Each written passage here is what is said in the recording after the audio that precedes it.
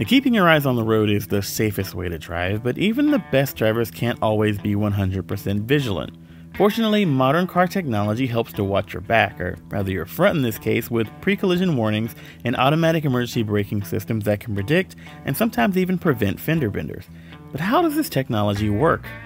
Now, an automatic emergency braking system needs a few things to work. First, it needs brakes that can be controlled electronically. You also need some sort of a way to detect other cars on the road. This is usually a radar distance sensor. And finally, you need an electronic brain or an ECU that's smart enough to control it all.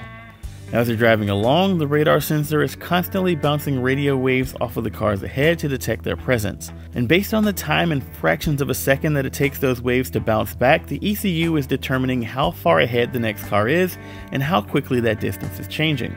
So the system now knows how close you are and how fast you're going, and if you're too close to the car ahead for the average human reaction time to be able to safely brake in an emergency, it may issue some sort of an alert, usually a beep or a chime or a flashing dashboard light.